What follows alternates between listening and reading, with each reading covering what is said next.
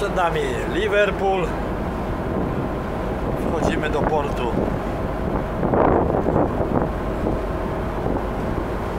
Poładunek. Szkoda, że tak krótko będziemy stali. Nie mam okazji przedostać się na drugą stronę i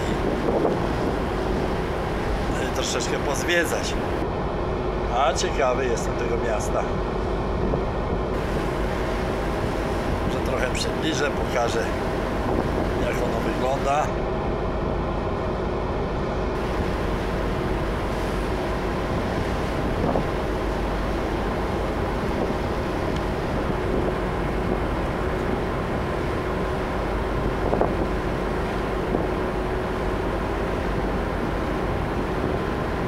Od strony morza.